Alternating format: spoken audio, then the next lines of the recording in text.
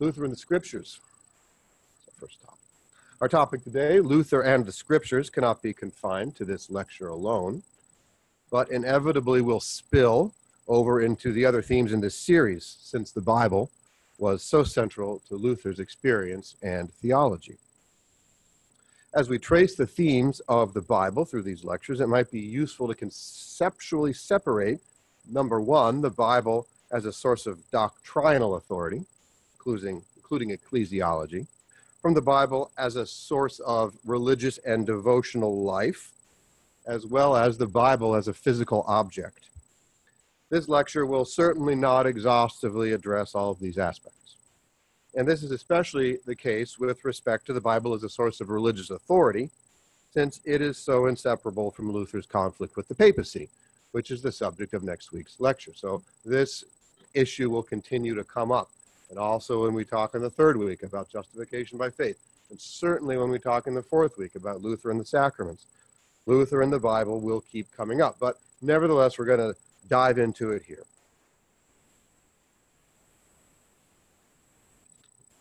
Uh, one, uh, the Bible before Luther. This is, by the way, uh, a Bible with, not allowed to step away from the mic here. This, by the way, is a Bible with gloss. Uh, what you see here uh, is, are the openings chapters of the book of Genesis. If you can do the eye, right? And if you look really closely in those large letters, it says in principium creavit, in the beginning created, and God is right there. So this is the text here, right? And as you can see, it is surrounded by commentary. And this is how most people would have experienced the Bible if they had one in the Middle Ages, right? Uh, a little bit of text surrounded by an enormous amount of uh, gloss, uh, which is uh, commentary. So we'll talk more about that in a minute, but that, that's what that is.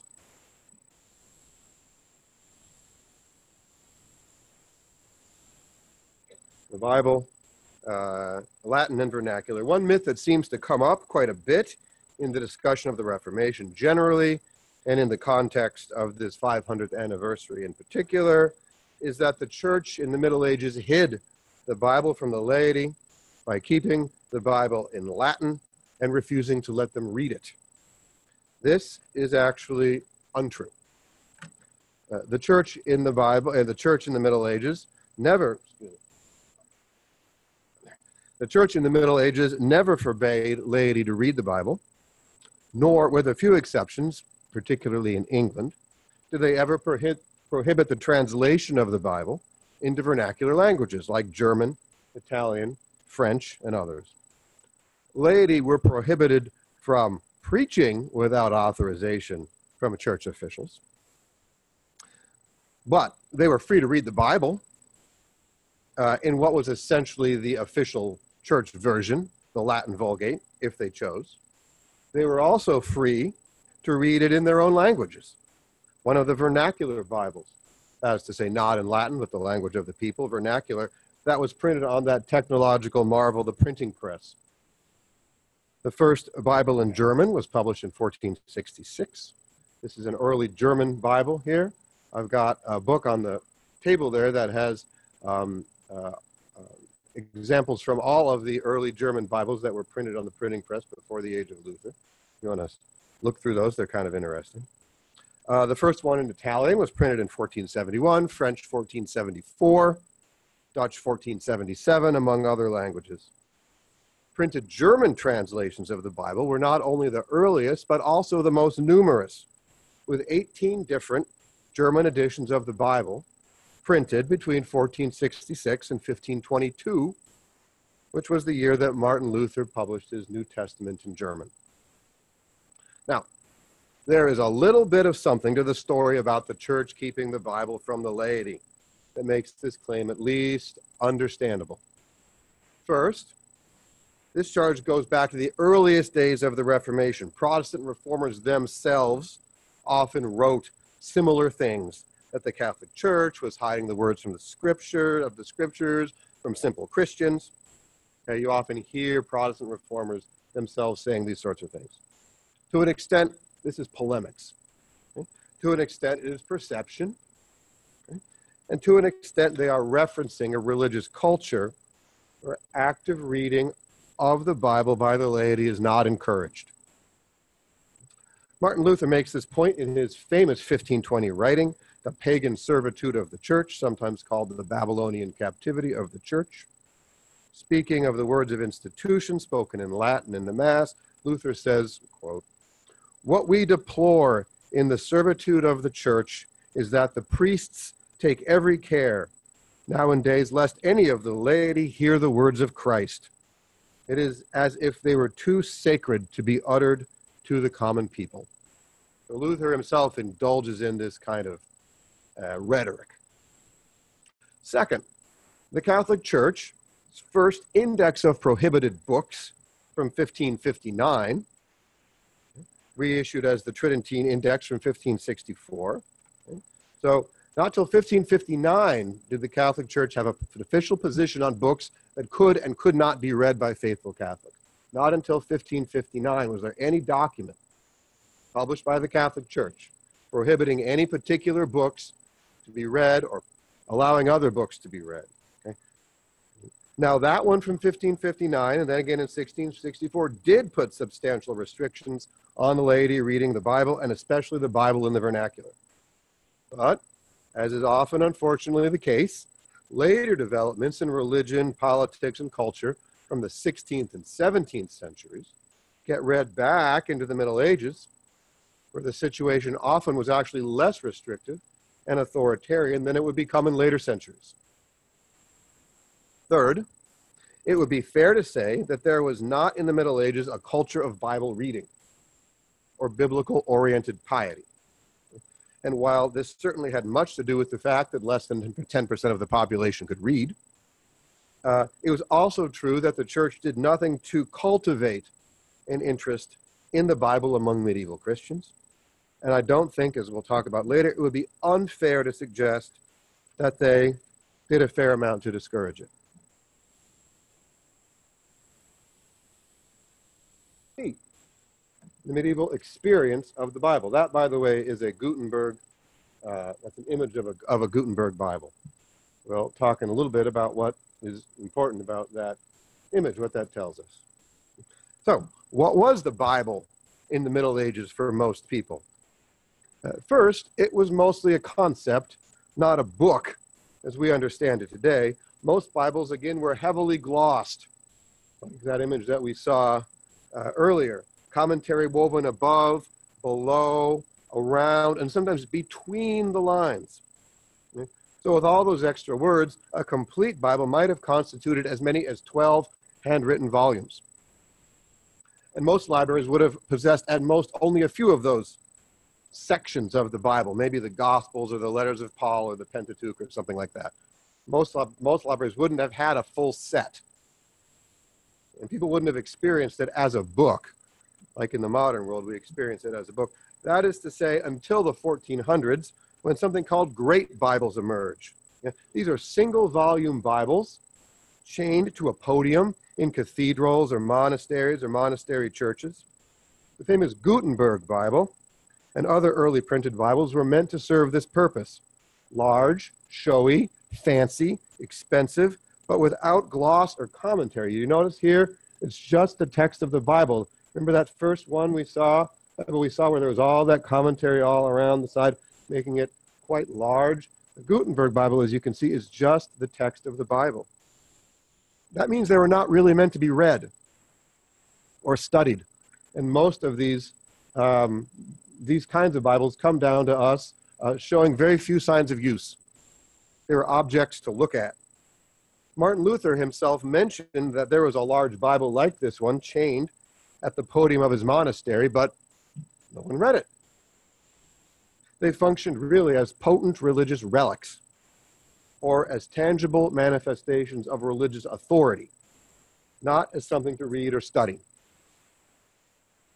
The Bible, thus, had an aura about it of distance and power. But most precisely, it was considered a book for specialists, theologians, canon lawyers, church officials. It was not a book for general Christian use. It just was not. Just like this is a silly metaphor, but it's the only one I could think of. Just like, although you all, we all could go out and buy a surgical manual explaining how to remove an appendix. And although there are a few people who might be crazy enough to try, most people would never consider going out, buying the manuals, reading them over, and then attempting to remove somebody's appendix. Right? These books are for medical professionals. And although you could technically go get your hands on one and read it, most people would consider it to be not really for them. And if a movement emerged, this is taking the analogy maybe a little too far, but we're going to go with it. And if a movement emerged of amateur surgeons, you see where I'm going with this, right? Who bought and read surgical manuals and then operated on each other, right? It is certain that the AMA would swiftly begin issue stern warnings, right, about how these books cannot be understood without the proper training, and about how in the wrong hands they can do severe damage, and about how these things really need to be left to the experts. Right? And most people, frankly, would probably agree. They would say, yeah, this is not really for you. Okay? You can buy the book, right? You can look at the diagrams, but really, without the proper training, you shouldn't be doing this. These books aren't really for you. Similarly, the Bible, you see, the, see where I'm going here, right? The Bible was considered to be a difficult and complex book that could not be understood without the proper theological training. The Bible was only studied by theology students, and them only through the glosses. You read the glosses to understand the text. The glosses were, by the way, largely excerpts from early theologians, church fathers, other prominent theologians, helping guide the novice through the scripture and come to its proper understanding.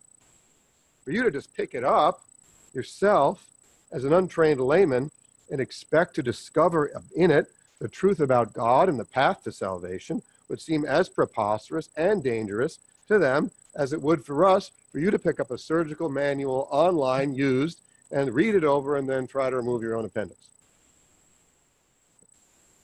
Not for no reason was the Bible called the heretics book, or the book for heretics. In the wrong and untrained hand, the Bible could easily be misunderstood, and this could lead to heresy and ultimately to perdition.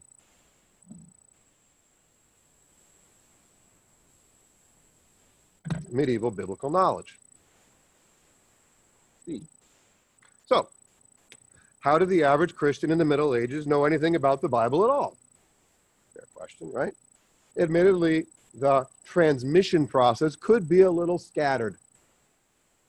But over time, a fair amount of biblical knowledge did get conveyed. Well, there were, of course, the images in the churches, the, the, paintings, the statues, the stained glass, right? Sometimes called the Bible of the poor. I don't know how really true that is, but um, there were those, right? And there, of course, is Adam and Eve in the garden. You know, they're just getting in trouble there. See, God is you know, coming after them there in the garden. Um, there, there was that. Okay. In the later Middle Ages, sermons in the vernacular became much more common. Uh, sometimes these were mendicant friars, Dominicans, and Franciscans going around the country preaching. Sometimes they were endowed preacherships uh, that were uh, set up in large and prosperous cities for people to come and hear preaching. It was done in their own language. Now, admittedly, the content was varied, there were saint stories and other kind of moral tales that were told, but a fair amount of biblical information was also conveyed in these sermons. Okay? Clergy were supposed to provide catechetical instruction to their congregation. Again, a bit scattered, but it did happen. And when you did it, you were supposed to at least explain the Ten Commandments in the Lord's Prayer. At least. So biblical knowledge does come through that instruction. Now, at least once a year, also, you're a good Catholic in the Middle Ages, you're supposed to go to confession at least once a year to confession. And in that confession, the good and faithful priest, not all priests were as good and faithful as others, but the good and faithful priest would question the person about their faith, and this would knowledge about their faith, and this would provide also an opportunity for instruction. Okay. This did happen. Not as much as the church wanted, but it did happen. Right? Christians who were receiving uh, education often stayed in boarding houses if, for secondary education uh, or in colleges if they were at university. And it was often the case that the Bible would be read during meal times. So there's that. Uh, finally, in the later Middle Ages, devotional literature, as literacy rates are going up, devotional literature for the ladies becoming more popular. Some of that devotional literature, like this movement called we call the Devotio Moderna, the modern devotion, that was very heavily centered around Bible stories. Um, but all of it to at least some extent reference stories in the Bible, at least the most familiar stories, and of course, key moments in the life of Jesus.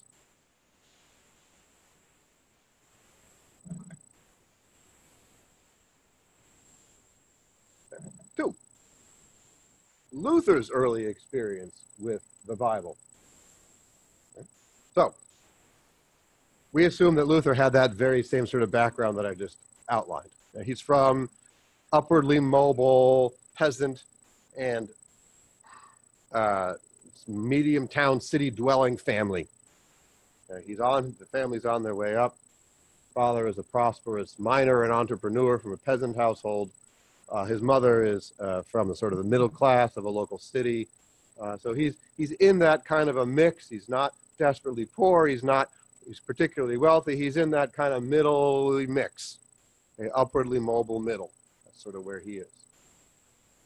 Um, growing up. So we assume he had that same kind of basic background that most other people in his era had. So then, where did his extraordinary interest in the Bible come from? For there are many accounts that suggest that he was drawn to the Bible in an extraordinary way, a way that deeply impressed some and mildly alarmed others. But many people comment on it. Naturally, he was exposed to the Bible in all the ways we just discussed. But there doesn't seem to have been anything particular about his early experience. Luther claims that he never even saw a Bible until he was 20. When he came across one as a master's degree student at the library at the University of Erfurt. First time he ever saw one in his life. When he entered the monastery, however, now I'm referencing some background material in that early lecture. Uh, go back and look at it. I guess that's what I would say. Uh, he enters a monastery in 1505 after a dramatic religious experience that he has. Uh, and there, his contact with the Bible naturally grows. Uh, the Bible was, he's an Augustinian friar, and the Bible was read during meals at the Augustinian monastery. So he heard it being read. As a novice monk, right after he enters the monastery, the only Bible, the only book he was allowed to read was the Bible. He took away all his other books, and he voraciously read a copy over and over and over again that was provided to him. Also, the vicar general of the observant Augustinian order, the head of his monastic order, a man named Johann von Staupitz, who also shows up in the introductory lecture, who Luther knew personally, was himself unusually interested in the Bible and in cultivating a biblically centered piety because he himself, Staupitz, was also, in, the head, in addition to being the head of the Augustinian Observant Order, was a professor of the Bible at the University of Wittenberg. And certainly this had an impact on Luther. Later on, when he was studying scholastic theology for his doctorate in theology, he would still find time to visit the monastery library and read the Bible but this, already noted, is highly unusual behavior and begs the question why was he doing this? When everybody else in the monastery, a group of people with largely the same experiences and background and a sense of exposures, were not. They all could have been doing this too. They were all observant Augustinians. They all were under Johann von Staupitz. They all had the Bible read to them every day. They, but they weren't doing this. Why was Luther? Fair question. Some of this simply lies in the mystery of the human personality. Or as Luther would insist, the mystery of the divine calling. And so the answer, we will never fully recover that answer. However, a big piece of the puzzle probably lies in the Psalms. Okay? That is a psalter, by the way. 150 Psalms make up the psalter. It is sung, that's why you have the notation there. An example of a, of a psalter that would have been used by a monk probably in the singing of the Psalms. The most intense contact that a monk would have with the Bible was to be found in the praying of the Psalms. Monks would gather together for public prayer eight times a day for a total of about four hours a day of public prayer. That's not to the public like outside, but among themselves, not private in their cells, but together public prayer. That's what I mean by that. And the majority of their time would be spent praying or chanting the Psalms. In fact, over the course of a week, generally, monks would pray or chant through all 150 Psalms every week, the whole Psalter every week. So, over the course of a long lifetime, a monk might well pray through all of the Psalms thousands of times. Luther had an intense but ambivalent relationship with the Psalms. First, as I did talk about in this introductory lecture, you can go check this out. Luther was a particularly scrupulous monk. He was intent on performing his monastic duties correctly. Hmm. He wanted to make sure that he had done enough. With regard to the Psalms, this involved having both a correct understanding of the Psalms and having the right internal disposition of reverence and devotion. He needed to understand what he was praying and do it with the right attitude. That would do his, that would then he would have done his monastic duties correctly. This requirement disturbed Luther because he believed he did not understand the Psalms. And because he believed that no one else in the monastery understood the Psalms either. This is in addition to the fact that he was sometimes tired or sick or cold or distracted, and he would catch himself praying the Psalms by rote and not with the heart. In this way, the Psalms worked to increase Luther's already troubled conscience, his anxiety, his fear that he had yet again failed a harsh God of judgment. This anxiety and this dread was only enhanced by certain verses in the Psalms that spoke of God's righteousness. From Psalm 31, these are just a few examples. In your righteousness, deliver me. Or from Psalm 71, give the king your justice, O God, and your righteousness to the royal son. The idea of God's righteousness terrified him. How could he, Luther, a sinner, be delivered in God's righteous judgment, would he not instead be condemned, consumed, destroyed? And how could he give the Son his righteousness when he felt like he didn't have any righteousness at all to give?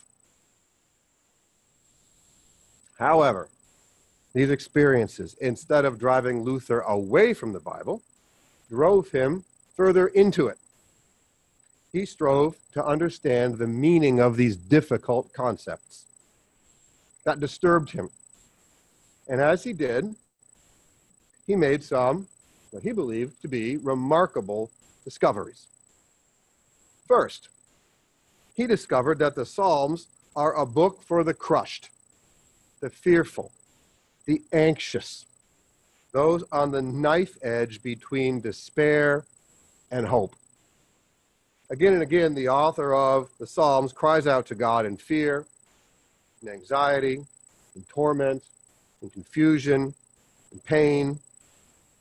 In this way, the Psalms confirmed Luther's own personal experiences, because that's how he felt, and affirmed, strangely enough, that this attitude is the proper attitude of the true believer. But how could this remarkable book both provoke these feelings and assuage them? How could it affirm that it is precisely the true Christian that is crushed under the righteous judgment of God. Luther sensed that he had hit on the way out of his problems, that he had uncovered something profound. But he knew that at this point, he only vaguely grasped what he had discovered. And that intense work would be needed to struggle his way to clarity. This realization forms the basis of the theology of the cross, which again you can go read about in the, uh, you can go watch in the first lecture, and you'll see that there are a lot of parallels here between what I'm discussing and the theology that emerges for Luther in the year, let's say 1508 to 1508 to 1515. He's working out of this discovery that he finds in the Psalms uh, that the true Christian is the one uh, who is actually the judged Christian, the Christian who is crushed, the Christian who embraces his condemnation. A strange kind of middle ground for Luther between what's going to be his Reformation teaching on justification by faith, that we'll talk about next week, and the more medieval view of salvation, which is a cooperative effort between human works and God's grace. So, a strange middle ground position, but uh, you can see me talking about it in that lecture uh, on the Theologian Residence website. But that's where he is right now in this period. Another thing he discovers reading the Psalms intensely, and it is that the scriptures have their own voice, their own terminology, their own way of speaking and thinking that Luther found to be foreign to the modes of medieval theology that he was accustomed to. He was a professor of theology. He had studied intensely medieval theology. He knew it better than any of us know it. Right? And he found that the language of the Bible and the language of medieval theology were so profoundly different that they couldn't even talk to each other. With its use of formal language, with its use of speculative thought, with its approach that framed questions using the terms and categories of Greek philosophy, particularly the philosophy of Aristotle. This was not helping him understand the voice of the scriptures. So he felt like the key to unpacking the meaning of the Bible had to be found in the Bible itself and in the use of the language of the Bible itself. He's beginning to move all the way already away from uh, scholastic theology. And he was eager eager, it seems, to turn to the Apostle Paul, who also wrote extensively about God's righteousness, the concept that deeply troubled him, but that he increasingly sensed might also paradoxically be the solution to his spiritual problems. Just starting another section here. I'm trying to decide if we want to break or if you want to plow ahead for another 10 minutes. Plow ahead for another 10 minutes. Okay, that's very good. I like that. Let's plow ahead for another 10 minutes. Then we will, uh, then we will take a break. Oops, going backwards. Three, Luther as translator of the Bible. This is, by the way, the room in the Wartburg. Has anyone been there? Yeah. No? Go. Um, this is the castle where Luther was hiding out after the Diet of Worms. And this is the place, this is the room where he translated uh, the Bible into German. So, his, of his room where he did that translation work. Luther is, and there's a picture of him up there in the 1520s with the big beard. Got that uh, millennial, he got that millennial beard going on there. I don't know where that came from, but it's back, isn't it? As discussed in the preliminary lecture, as professor of scripture at the University of Wittenberg, Luther's most important professional task was to expound the Bible, right? He was a professor of Bible at the University of Wittenberg. That was his job, right? And so a couple times a week, this is again in the introductory lecture, he would go into the lecture hall and he would explain the Bible to his students. That was his task. And in that capacity, he worked his way through the Psalms, the book of Romans, the book of Galatians, and the book of Hebrews. In the process, his conviction grew that the Bible belonged at the heart of the life of the church and the experience of the individual Christian. He did mean this in terms of binding authority, that the scripture alone stood as the final arbitrator of all matters of Christian doctrine, devotional life, church polity, standing above in judgment and not together with the Pope, the councils, the tradition, canon law, reason, the church fathers, all of that. Stood above it, not together with it. But even more so, he came to think of the scriptures as the living word of God, something that speaks alive, speaks directly into the lives of Christians, especially experientially, directly, killing and making alive. We'll talk more about that later. let's go through some of Luther's sources here. The most significant and lasting expression of Luther's commitment to the centrality of the Bible was his translation of the entire Bible into German.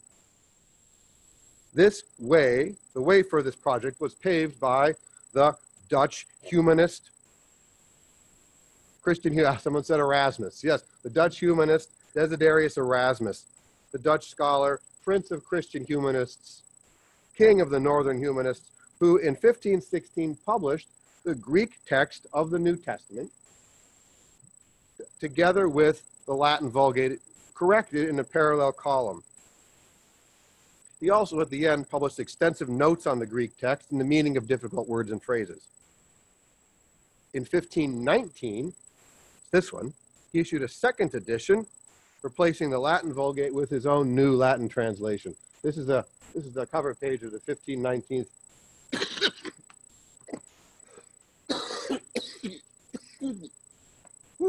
Sorry, should have taken a break. Um, this is the cover page of the 1519 edition of Erasmus' um, Old Testament Conventional Someone wrote down here later on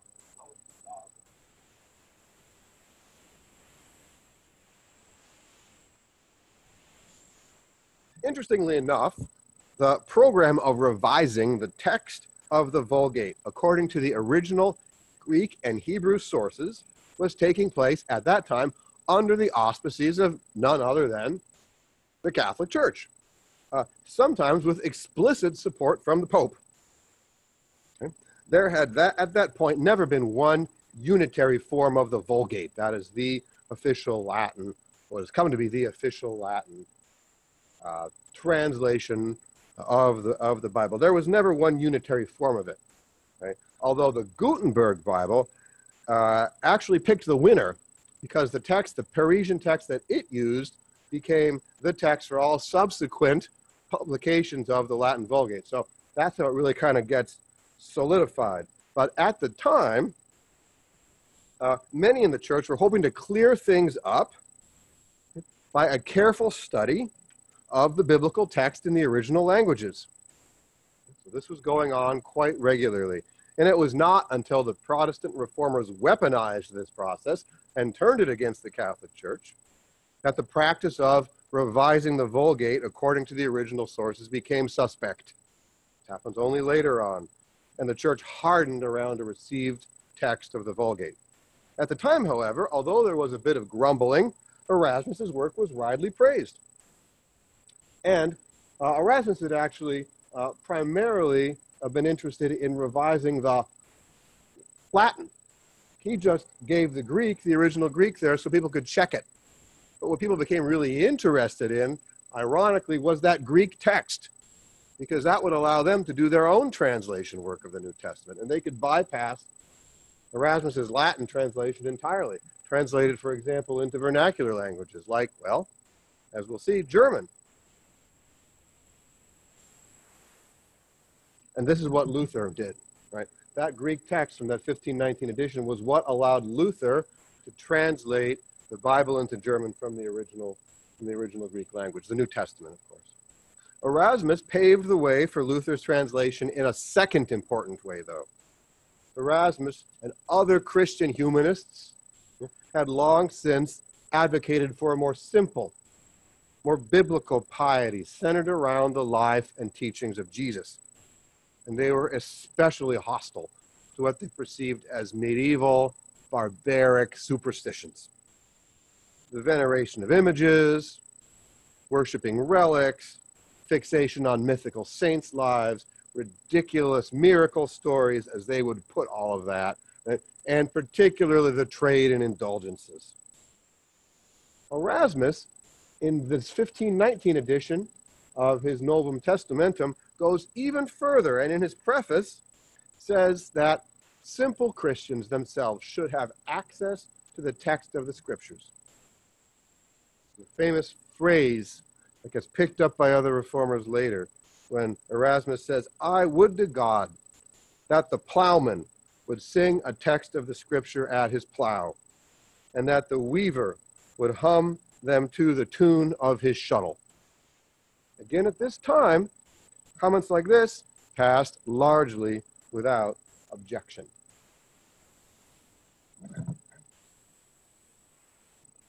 Translation project.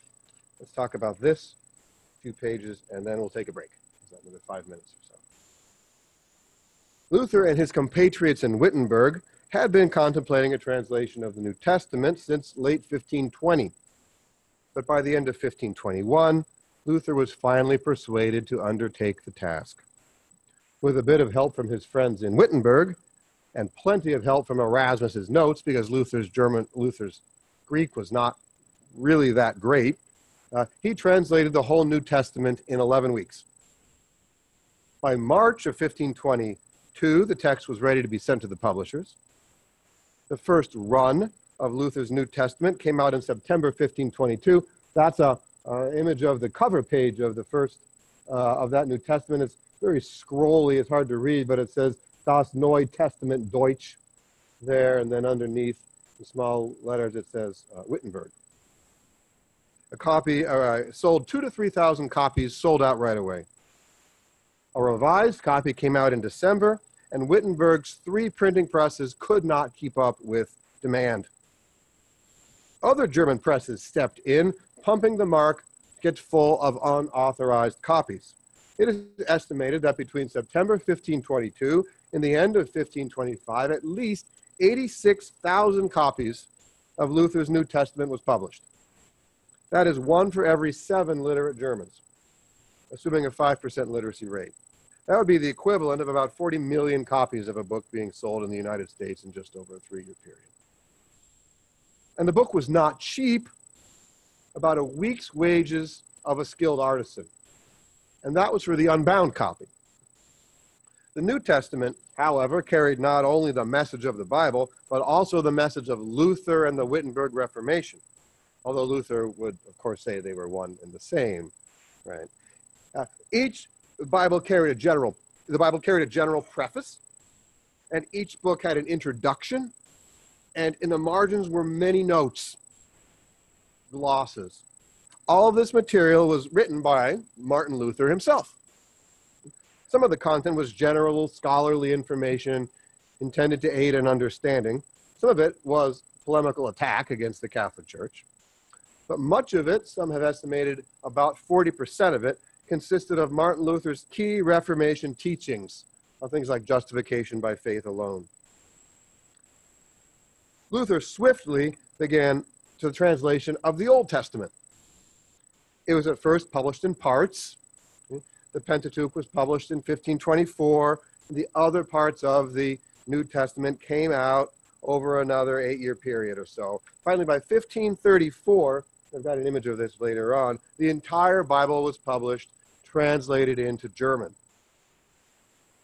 The first text of the Hebrew Scriptures was printed in 1488.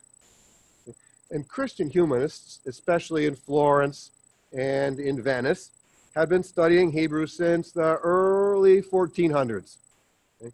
By the time Luther had undertaken his translation work of the Hebrew Old Testament, there were also a number of Hebrew grammars and dictionaries available for Christians to study, coming out really in the late 1400s, early 1500s. However, the discipline among Christians was, of studying Hebrew texts was still quite young. And Luther and his team of translators found themselves struggling mightily over the still many difficult and obscure passages, especially in the poetical books, and most especially in the book of Job, which they said almost sunk them. You ever read Job? You might understand why that would be the case. But it finally came out. And at over two guilders per copy, that is about a month's wages for a skilled artisan. A lot of money. However, between 1534 and the year of Luther's death, the Wittenberg printers issued over 100,000 copies. That's just in Wittenberg. And many more of them were issued by unauthorized printers across Germany. hugely popular. So, after the break, uh, we're going to ask the question what accounts for the extraordinary popularity of Luther's Bible? And what does that say about ultimately what's going to be a new culture of the Bible that Luther will be creating almost single handedly in Germany? So uh, keep that question in mind. We're going to take uh, Dr. Williams, how many minutes? We're going to take a see the source of the appeal of Luther's Bible. And there's a woodcut of a 16th century um, printing shop that is. Uh, so, what accounts for the extraordinary popularity of Luther's Bible? It will be recalled that there were numerous editions of German Bibles that had been published in the years before the Luther edition came out, most of them in relatively small runs. 16th century printers, 16th century printers, were a capitalistic entrepreneurial lot. They published whatever the market demanded and didn't really care where they got their materials from. If people had wanted more German Bibles, printers would have published them. So something must have changed that can account for the explosive popularity of Luther's Bible. What might that be? There's the man, Luther himself. Uh, here's an early woodcut of Luther in the early years, in the early 1520s. He's still in his monk's uh, cowl there. Uh, he has his tonsure, and you see he's Saint Luther uh, with the nimbus, the, the halo around him, the Holy Spirit coming down on him as a dove, inspiring his interpretation of that book down there in the far right corner, uh, the Scripture. Now, do you see uh, this sort of uh, um, saint-like uh, Luther being portrayed here by one of his early followers in the form of a woodcut? The first answer to this question of why did people read the Luther Bible was Luther. Uh, by 1522, Luther was already an international celebrity, the most prolific author in Germany. It's estimated that between 1500 and 1530, Luther's writings made up 20% of all pamphlets published in Germany. In the years 1518 to 1525, the dates sort of surrounding the publication of his New Testament. Luther published almost four times more pamphlets. Pamphlets are what we call are the sort of the shorter books. They're called Flugschriften in German. Shorter books. Um, four times as many pamphlets as the next most prolific German author. People read Luther. They discussed Luther. They loved or they hated Luther.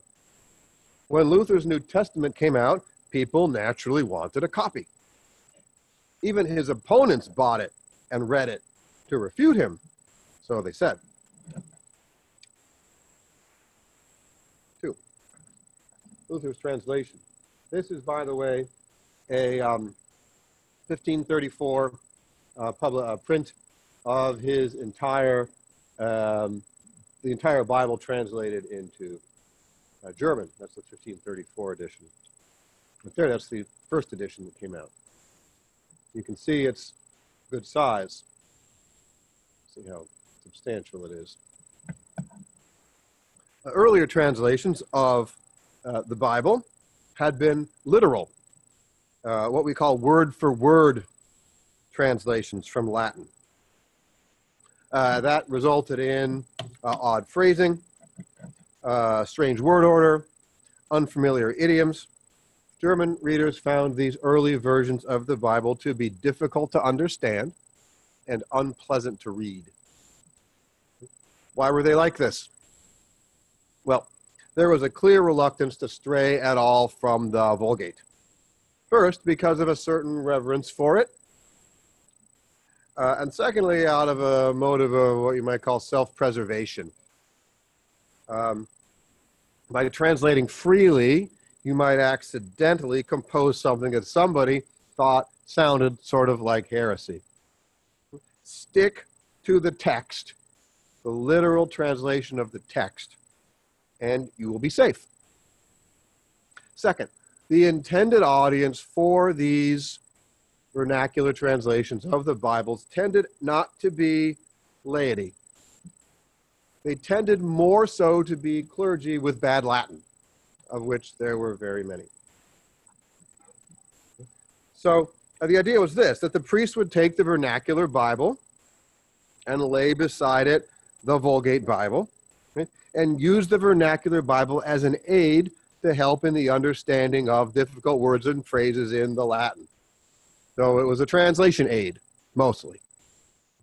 Um, although people read it for other reasons, that was sort of how it was conceived. So, kind of like an inter. Some people, you ever see like an interlinear Bible where you've got the Greek or the Hebrew text, and above it you have kind of a literal translation with English words above it, sort of like an early version of that. And for that reason, a literal translation that stuck directly to the text of the Latin Vulgate would have been most helpful. Finally, got a cough drop in.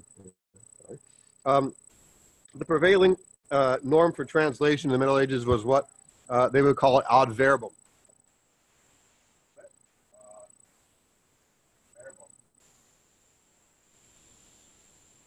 That means literally, or, you know, by the word, to the word, literally, word for word.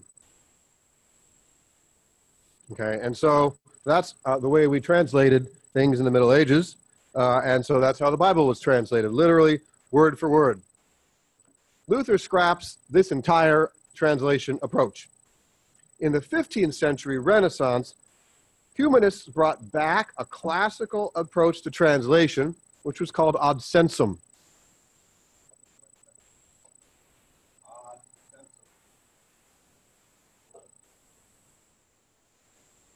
And you can guess um, what that means uh, according to the sense of the passage. The idea was not to translate word for word, but to convey the sense of the passage in a way that captures the meaning of the author, but in the idiom of the reader. Luther adopted this method completely. His German Bible sounded like good German, not like another language translated into German. He used as his foundation, by the way, the court German of his Saxon rulers, a kind of dialect that was spoken broadly in imperial circles throughout Germany. And then he added to it more popular phrases, words, sayings, idioms that made it sound like a people's book. Right? And it allowed Germans to see themselves in the pages of the Bible. Luther also happens to have been one of the greatest wordsmiths in German history. And this is part of the story as well. He had an amazing sense for words and sounds and phrasing. He could make text shine, he could make them resonate. His translation is universally considered to be a monument of German literature. You can't take that personal element away from it as well. There is something about Luther's power with words and so those are all those are all part of it. The third piece of it, the question why, when the Bible was available, you could have read it, but nobody read it, and then suddenly it's flying off the shelves and people can't get enough of it, and the printers are printing 24 hours a day and they can't keep up with what happened. Those are two possible explanations, partial explanations, I guess you could say. The third one, I'll suggest, um, is a little broader, and it's Luther uh, as the creator of a new culture of the Bible. The Bible was available before Luther, but hardly anyone read it. Why would you? It was an obscure book. It was confusing. You were told for specialists only, not meant for you. What would you find there if you were to read it? A book full of strange laws, bizarre customs of an ancient world that had passed away the church had long since extracted the sap, as they said, and distilled it into the teachings you needed to avoid evil in this world and to reach heaven safely. Follow the teachings of the church, make use of the sacraments, live a good life. You will be fine. You will be fine. Hmm? Start mucking around in the Bible, and all bets are off, right? Who knows? Luther challenged all of that. When Luther's Bible appeared in 1522, he had been in the public eye now for almost five years. His writings had been flooding the German markets since 1518. Constantly in his writings, Luther referenced the Bible. He quoted the Bible. He explained the Bible. He appealed to the Bible. He held up centuries of church teaching and practice against the authority of the Bible and declared those to be lacking or invalid. People read Luther, or they heard Luther read, or they heard Luther discussed, and they drew basically three conclusions.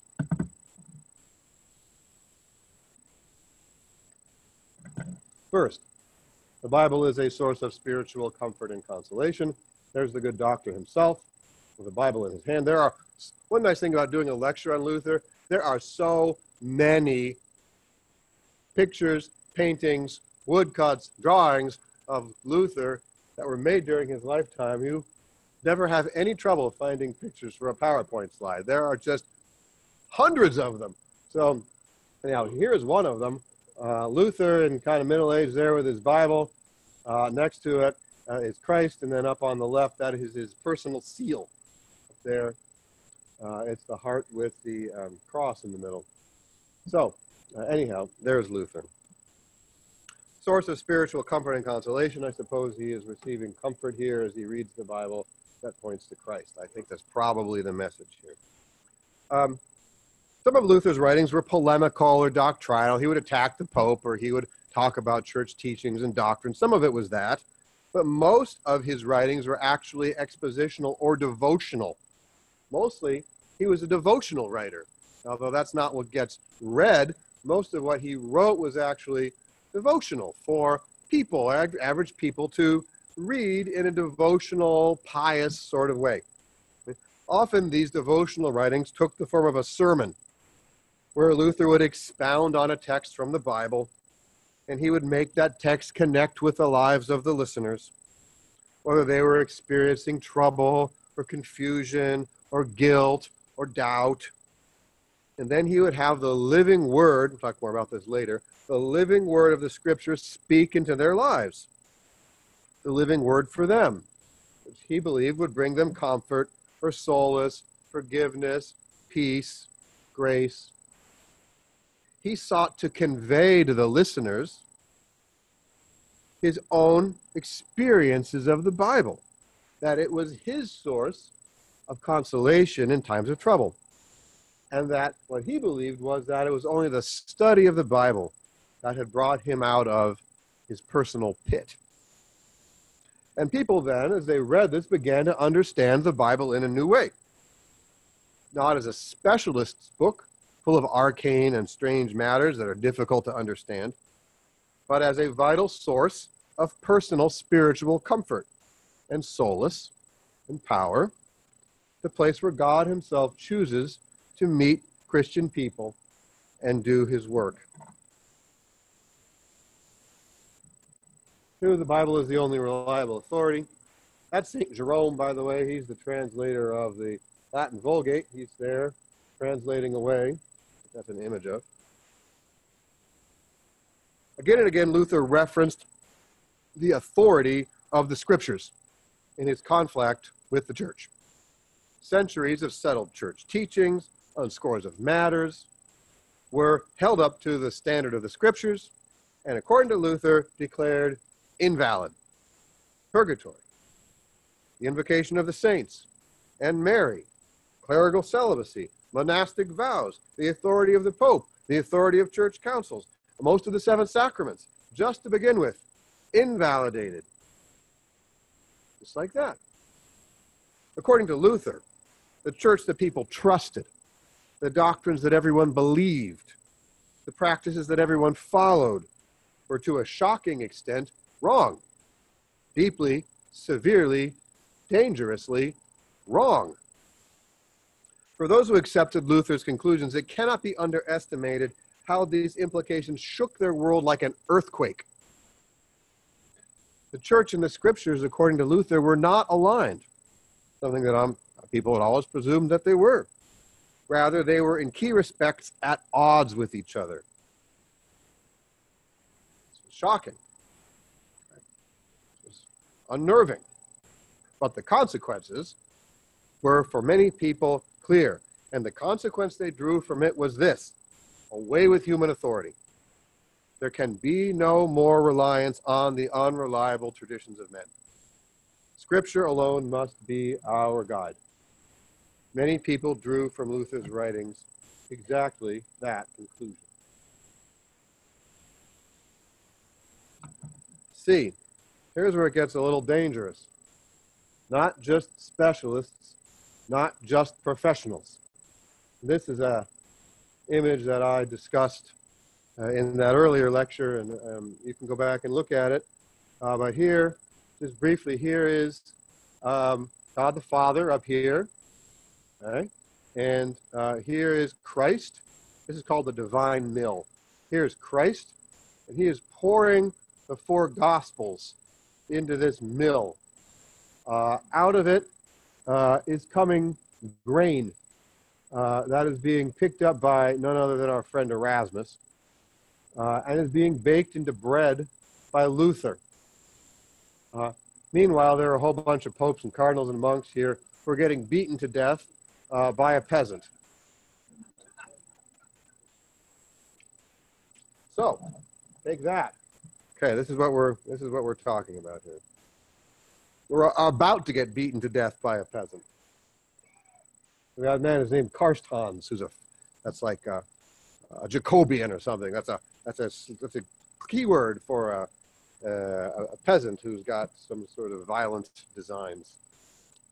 Um, all right, not just specialists, not just professionals. It gets a little dangerous here. Luther did not believe in what we will come to call later the perspicuity of Scripture. Anyone ever hear that term? Perspicuity of Scripture. Uh, that's a good fundamentalist doctrine. Uh, it held that the Bible's meanings are self evident to the common reader. No special scholarly skills or training is necessary to understand its meaning. Okay, open it up, read it. The truth of it is there for you. Okay. Luther did not believe that. In his 1522 New Testament, it will be recalled, right? It was full of notes, prefaces, introductions, all kinds of tools and instruments to guide the reader into the proper understanding of the text. Now, Luther indeed did hold that key texts of the Christian faith were knowable to the reader approaching the text in good will. Uh, he's thinking things about things like justification by faith, and as we'll see in chapter in lecture four, the real presence of Christ in the Eucharist. Right here in the Scripture, God expresses the most important things necessary for salvation clearly. He also believed, though, that there were many obscure and baffling passages in the Scripture that could, if misunderstood, mislead the simple reader. There was always in his mind an important role for the scholar and the interpreter, for the professor of Bible. That's him, right? For the professor of Bible. There's always that important role for that person in the process of, of achieving accurate biblical understanding. Admittedly, though, Luther could be somewhat ambiguous on this point and in places in his early writings, he often made it sound like regular people should take the Bible in their hands and refute the Pope and his lies. And many people thought that he had license to do exactly that. Very soon, what happens? People who originally associated themselves with Luther's movement, often lay people without a formal degree or called a religious office, found in their readings of the Bible teachings and doctrines that were widely at variance with what Luther thought was in the Bible. Hmm. This allowed Luther to clarify, at least on paper, and perhaps also, frankly, in his own mind, I think, his position on the issue of laity reading the Bible. Here is what I would say is his settled position on this matter. All Christians should read the Bible devotionally to receive comfort, encouragement, consolation from God, who meets with people there himself in the text. The interpretation of the Bible, however, that is the discernment of doctrine, of true teaching, should be in the hands who have been formally trained and educated and have received a formal call as a pastor or a teacher in a church under the authority of a local government. That is his settled position on this matter. Devotionally, everyone should read the Bible. True doctrine and teaching, that still is in the hands of the professionals. That's the conclusion that he comes to after much difficulty in the 1520s. Um, and the book that Dr. Williams uh, so generously mentioned that I wrote has a fair amount to do with with that that problem. Uh, that people are finding all kinds of things in the Bible in the 1520s, and um, what are you going to do about that? Okay, uh, but right, for Luther, right, the cat's pretty much out of the bag by this point, and all his efforts are never going to be able to rein people back into that understanding that he has of interpreting the Bible. Now, where does this idea come from? That people might be able to read and interpret the Bible for themselves? The theoretical framework within which the laity are seen as having the right to read and interpret the Bible for themselves derives its validity from Luther's position that we have come to call the priesthood of all believers. You've ever heard anything about Luther, if that's one of the key phrases that comes up associated with him and his teaching. Luther articulates this position most clearly in his 1520 writing to the Christian nobility of the German nation, another one of these really famous 1520 writings of Luther's. In this book, Luther calls on the German nobility to reform the church. He asserts that the papacy has protected itself against reform with three walls that must first be knocked down. Here's his vision of these noble men on knights and dukes and you know, men of arms, and what do they want to do? Knock down walls. So he says, here's a the papacy has fortified itself with these walls. Now, boys, go knock them down.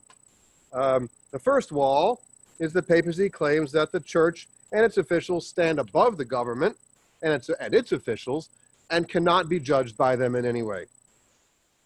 The second wall, the papists claim, the papacy claims that they have the right to interpret the scripture alone and so cannot be judged or rebuked by it, by anyone else, as the authority to interpret it is in their hands.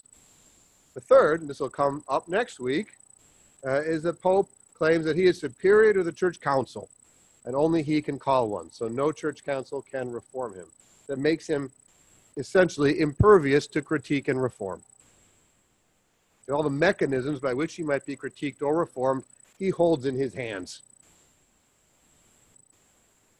It's to knock down the first wall that Luther elaborates this view of the priesthood of all believers. And in some ways, he's really thinking here of government officials in this text, interestingly enough. He's not thinking about peasants, he's not thinking about that guy. Okay. Um, but, okay, there is for Luther, what's the essence of it? No fundamental difference between clergy and laity. In fact, all Christians are priests part of the spiritual estate because of their baptism. He says, oh, the fact is, our baptism consecrates us all without exception and makes us all priests. Then, to knock down the second wall, the scripture wall, Luther denies the papacy the right to exclusively interpret the scriptures, especially since their behavior has been so manifestly evil. Luther writes these consequential words. Now, Listen to these words. Someone reading this for the first time in 1520. See what you think it means. If the Pope and his adherents were bad men, and he says that they are, and not true Christians, i.e., not taught by God to have a true understanding, and if, on the other hand, a humble person should have a true understanding, why wouldn't we follow him? Has not the Pope made many errors? And then he says later on, in addition, as I've already said, each and all of us are priests because we all have one faith, one gospel, one sacrament. Why then should we not be entitled to taste or test and to judge what is right or wrong in the faith? Clicker. Certainly, this guy would say, sure, why not me too? Right? So, when Luther writes in 1521, a little later on, one year later, in his introduction to the widely distributed Wittenberg postils, postils are collections of sermons that are sent out to, the idea is to send them out to pastors to read them if they themselves are not competent to write sermons themselves. Okay, and they go through the church here. Sermon guides, right? Any pastors in the room, right? Anyone ever use, a, use any of these sorts of things? Um, you can buy them online now, of course. We're just saying. Um, um, anyhow, so the postils, and you could also read them yourselves devotionally in, in the household. Uh, anyhow, he writes this in his postil. Now, the Gospels and the epistles of the apostles were written for this very purpose. They want themselves to be our guides, to direct us to the writings of the prophets and of Moses in the Old Testament, so that we might read there and see for ourselves how Christ is wrapped in swaddling clothes. Is it it is there that people like us should read and study, drill ourselves and see what Christ is, for what purpose he has been given, and how he was promised in the scriptures to us. People like us, like me, right? Or upon reading the statement, the concluding words of the postil. Listen to these.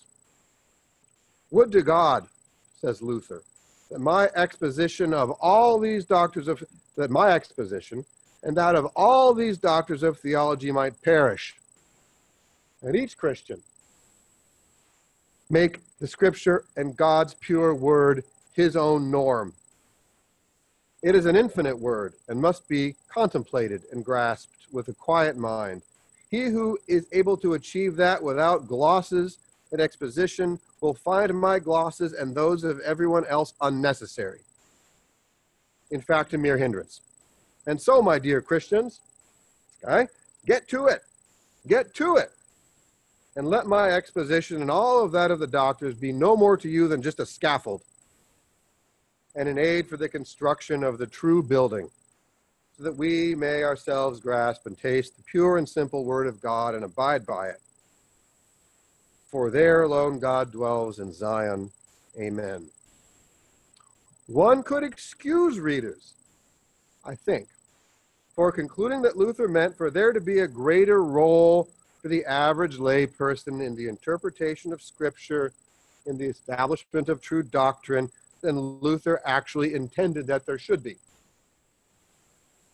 or that he, in the light of his subsequent bitter experiences, would conclude that there should be.